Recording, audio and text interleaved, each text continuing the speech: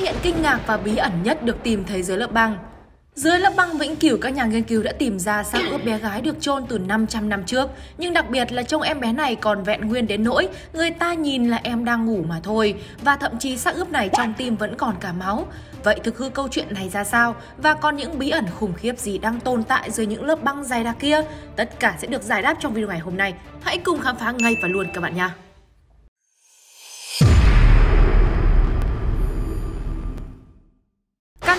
Nằm ở Nam Cực phải công nhận rằng Nam Cực là vùng đất luôn ẩn chứa vô vàn những điều bí mật mà cho đến ngày nay, con người ta vẫn chưa thể nào mà khám phá ra hết được.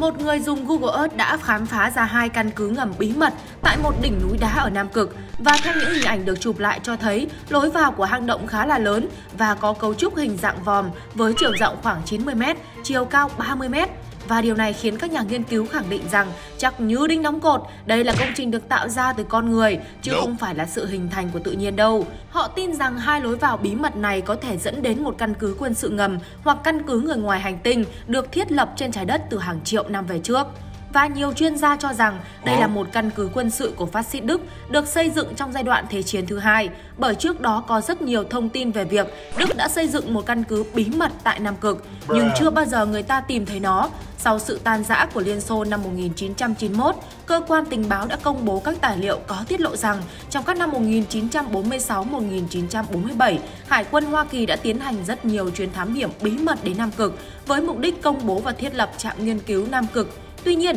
cơ quan tình báo Liên Xô cho rằng mục đích thực sự của họ là tìm kiếm căn cứ bí mật của phát xít Đức.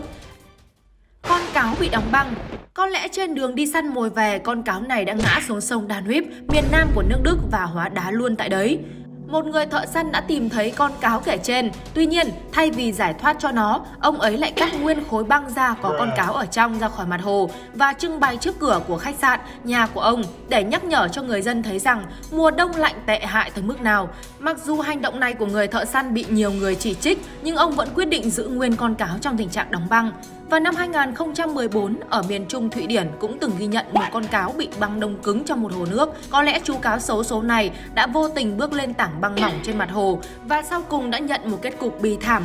Khi chết, con cáo đang trong tư thế cố gắng ngoi lên mặt nước để tìm đường sống. Nhìn ánh mắt của nó khiến người ta không khỏi xót xa. Tuy nhiên thì sức mạnh của thiên nhiên thật là đáng sợ và con cáo đã không thể thoát thân và chết cóng dần dần. Ướp 500 năm như đang ngủ vào năm 1999, trong chuyến thám hiểm, một nhóm các nhà khoa học đã phát hiện ra xác ướp của ba đứa trẻ người Inca Ấn Độ cao 6,705 m thuộc vùng núi lửa của Argentina. Các nhà khoa học đã phải ngỡ ngàng khi thấy những đứa trẻ này còn nguyên mái tóc, da thịt và thậm chí cả máu. Nhìn qua những bức hình này, chắc chắn bạn sẽ bị lầm tưởng rằng các bác sĩ đang cứu chữa cho một bé gái. Thế nhưng thực chất đây không phải một người sống mà là một xác chết của một đứa trẻ có niên đại lên đến 5.000 năm. Và kết quả khám nghiệm cho thấy các cơ quan nội tạng của những đứa trẻ dường như không hề bị tổn thương, phần não còn nguyên vẹn, thậm chí trong tim vẫn còn chút máu.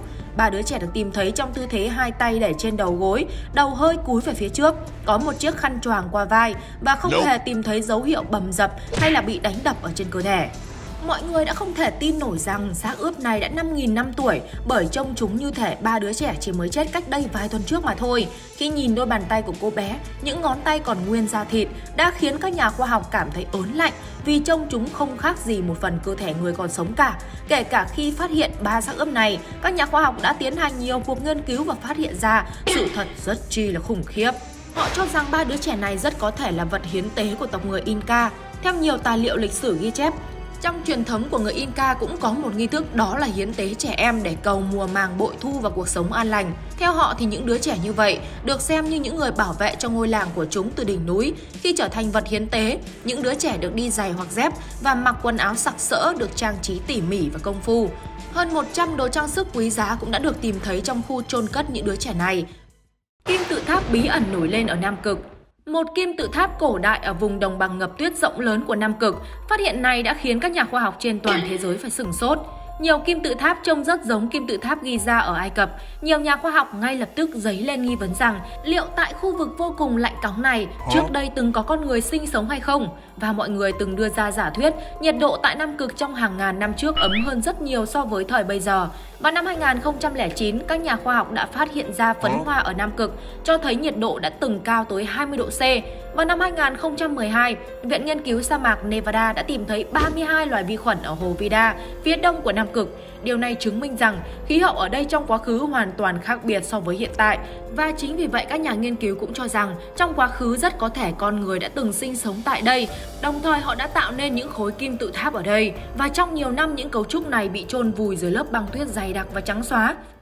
Phát hiện ngôi làng cổ Eskimo dưới lớp băng tan ở Bắc Cực có thể bạn không tin nhưng chính nhờ vào hiện tượng băng tan ở Bắc Cực mà một ngôi làng cổ Eskimo khoảng 500 năm tuổi vừa được phát hiện dưới khối băng khổng lồ tan rã. Các nhà nghiên cứu cho biết rằng ẩn sâu dưới lớp băng là ngôi làng cổ của người Eskimo. Những người này hiện nay vẫn đang sinh sống ở Alaska. Họ là một trong những nhóm người Eskimo cuối cùng còn bắt gặp cho tới ngày nay. Vào thời hưng thịnh, xã hội của họ đã từng là một nền văn minh phát triển dòng mạnh nhất ở Bắc Cực. Ngôi làng này được biết đến với cái tên là Nunalek và có thể hình thành trong giai đoạn từ năm 1350 đến năm 1650 sau công nguyên. Nhóm nghiên cứu của trường đại học Aberdeen đã tìm được hàng ngàn di vật từ ngôi làng cổ. Phần lớn trong số đó được bảo quản tuyệt vời sau hàng thế kỷ bị vùi lấp ở trong băng giá. Những di vật được tìm thấy rất là đa dạng và quen thuộc với cuộc sống hàng ngày, ví dụ như là lông thú, đồ dệt từ cỏ, những bức tượng hay thậm chí là cả tóc người.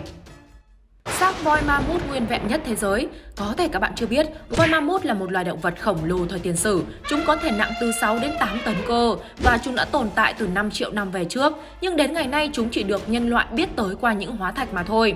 Và ở bán đảo Yama, người dân đã phát hiện ra một hóa thạch siêu to khổng lồ. Ngay sau đó các chuyên gia đã nhanh chóng vào cuộc để khai quật. Điều bất ngờ là những bộ phận cơ thể còn sót lại của sinh vật khổng lồ này vẫn còn nguyên phần đầu và mô mềm. Các chuyên gia cho rằng đây là một con voi được trưởng thành từ 15 đến 20 tuổi và cao khoảng 3 mét. Vậy tại sao nó lại bị đóng băng một thời gian dài như vậy mà mãi cho đến giờ mới được phát hiện? Thực ra thì ở Bắc Cực đang nóng dần lên và khiến băng ở trên bề mặt tan chảy ở một số khu vực, vậy nên cái việc phát hiện ra xác động vật thời tiền sử ở đây đã xảy ra thường xuyên hơn. Hóa thạch khủng long bí ẩn ở Nam Cực trong một cuộc khai quật có quy mô lớn ở Nam Cực thì các nhà khoa học đã phát hiện ra hóa thạch khủng long có niên đại lên đến 150 triệu năm tuổi. Trông nó giống y như là thủy quái vậy. Nó được xác định là một loài bò sát ăn thịt dài hơn 6 mét, được phát hiện ở bán đảo Nam Cực. Các nhà cổ sinh vật học cho rằng các loài sinh vật này có niên đại còn nhiều hơn cả lịch sử của Nam Cực nữa cơ. Và ở nơi được tìm thấy hóa thạch, họ thấy xung quanh đây không có loại đá nào, nên phần hóa thạch được tìm thấy hoàn toàn được bảo quản như là ba chiều. Và cũng từ những hóa thạch này thì mọi người đã khẳng định rằng Nam Cực trong quá khứ hoàn toàn khác biệt so với Nam Cực lạnh lẽo băng giá ngày nay. Rất có thể hàng triệu năm trước đây, Nam Cực là nơi có khí hậu ấm áp và có mọi sự sống sinh sôi. Du thuyền mắc kẹt trong băng Chiếc du thuyền nhỏ mắc kẹt dưới lớp băng Nam Cực lạnh giá này thuộc sở hữu của nhà báo kinh doanh nổi tiếng người Brazil. Con tàu có chiều dài khoảng 23 mét đã bị chìm dưới đáy đại dương và đóng băng dưới làn nước lạnh giá trong một chuyến thám hiểm vòng quanh Nam Cực.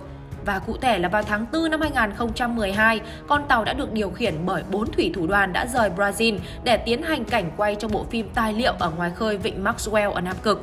Và tại đây thì đoàn tàu bất ngờ gặp phải thời tiết xấu, gió lớn khiến nó va vào băng trôi rồi chìm sâu xuống dưới nước khoảng 9 mét. Do thời tiết lạnh đột ngột đã đóng băng con tàu ngay dưới biển, may mắn là cả bốn thủy thủ đoàn đều được giải cứu kịp thời, nhưng con tàu thì không thể cứu vớt nữa rồi. Một vài thời điểm trong năm thì thời tiết ấm áp băng bề mặt mỏng hơn và trong suốt, nên là nhìn từ trên xuống, chúng ta có thể thấy hình dáng của nó gần như vẫn còn nguyên vẹn. Ếch đã bị đóng băng khi đi tìm bạn. Trong con ếch này có lẽ bạn nghĩ rằng nó đang ngủ ư, nhưng không, thực ra nó đã bị chết cóng từ lâu rồi.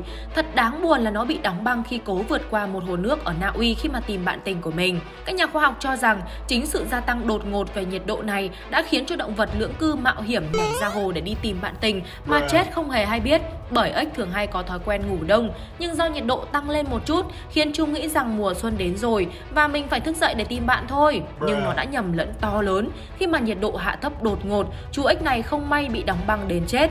Nhìn hình ảnh này chúng ta có thể thấy rằng nó đã chết trong lúc đang nỗ lực hết sức để có thể vượt qua hồ. Xác ướp người băng Ozzy Vào ngày 19 tháng 9 năm 1991, trong khi đang tìm đường vượt qua dãy núi Ozark Alpers, hai nhà leo núi người Đức phát hiện ra một xác ướp được bảo toàn nguyên vẹn ở trong băng được gọi là Ozzy. Ngay sau đó, một cuộc khám nghiệm xác ướp đầy tranh cãi được tiến hành và địa điểm đó là biên giới giữa Áo và Italy. Các nhà khoa học đưa ra hàng loạt giả thuyết về tuổi của xác ướp và thời điểm tử vong, nguyên nhân tử vong, tình trạng sức khỏe. Các nhà khảo cổ xác định được đây từng là một người đàn ông với chiều cao 1m6, trọng lượng khoảng 50 cân và qua đời khi đang ở độ tuổi từ 30 đến 45 nhưng quan trọng nhất là câu hỏi người này đã làm gì giữa đỉnh núi Alper quanh năm tuyết phủ này và khi được phát hiện, xác của Ozzy rất hoàn hảo và nguyên vẹn, kể cả quần áo và vật dụng. Chính vì vậy, một cuộc tranh cãi lớn đã nổ ra giữa các nhà khoa học về thân thế của Ozzy. Có người cho rằng Ozzy mang theo mình những công cụ đi săn, ví dụ như là cung tên, mũi tên, nên chắc hẳn đây là một người chăn cừu bình thường và có thể Ozzy đã tử vong do một cơn bão đầu mùa đông trong lúc đi săn. Nhìn chung là sau hơn 20 năm được tìm thấy thì người ta vẫn không xác định được lý do tử vong của người đàn ông này là gì, là do bị giết chết, bị hiến tế hay là gặp phải bão tuyết.